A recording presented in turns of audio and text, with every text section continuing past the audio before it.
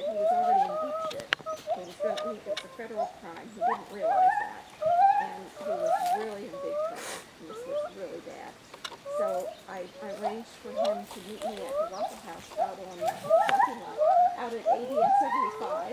And I called the County Sheriff's Department to tell them, and they weren't interested. So I got my sheriff out of bed, because by this time it's 1 o'clock in the morning.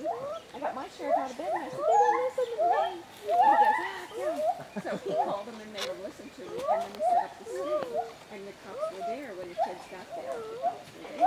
And I was on the phone constantly all the way across the two counties as I'm racing across it. I'm on the, I'm on the phone with them, then I call the officer, then I'm on the phone with them, and I call the officer, and then I call one of my volunteers, because I needed to call Wildlife Fish and Game. So it was really, it was really kind of a wild night. And I, was, I looked at my, I had an intern at that time, I looked at my intern and I said,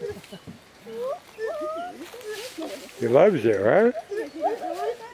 Look how he's talking to you, yeah. Listen to her. She wants you to talk to her again. Whoop, whoop,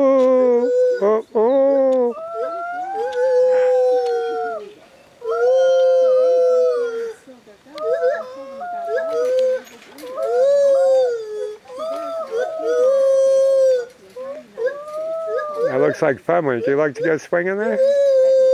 Huh? They'd be good friends, huh? Look at everything they could carry for you, man. They could carry all your toys.